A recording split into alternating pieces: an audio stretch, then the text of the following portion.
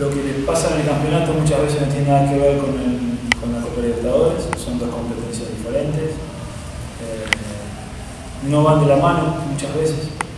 Y todavía hoy el grupo te permite el tercer lugar, donde el tercer lugar te, te habilita a seguir continuando eh, en una Copa Sudamericana, así que todos los partidos tienen una importancia muy grande y mañana será la misma situación. Más allá de, de estos inconvenientes internos que hoy, que hoy presentan, eh, los futbolistas la motivación por seguir jugando una Copa, Inter, una Copa Internacional la tienen y eso lo hace la dificultad. ¿Tiene equipo completo, profe? ¿Alguna banda luego? No, no, no, no están todos los futbolistas eh, a disposición y